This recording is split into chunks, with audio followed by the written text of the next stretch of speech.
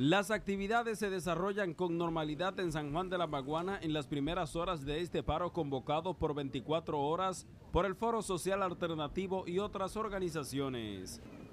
El tránsito es normal.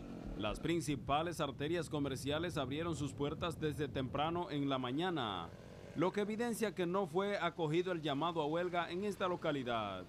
De igual forma se puede apreciar una activa presencia de agentes policiales y militares que merodean los lugares vulnerables y apostados en diferentes entradas y salidas de la ciudad.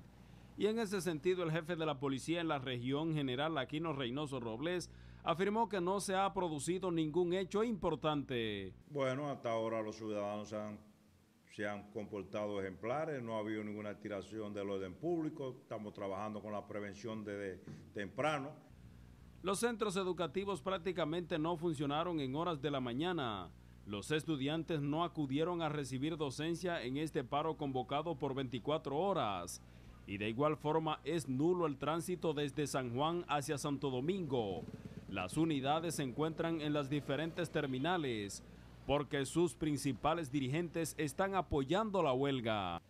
El comportamiento de la ciudadanía en este movimiento huelgario ha sido ejemplar. Hasta esta hora del día ningún acontecimiento anormal ha surgido y esto causa satisfacción ante las autoridades policiales y militares que están en las arterias comerciales dándole protección a la ciudadanía que ha decidido salir a la calle a realizar sus actividades. Desde San Juan de la Maguana, Gilberto Mateo, Noticias Telemicro.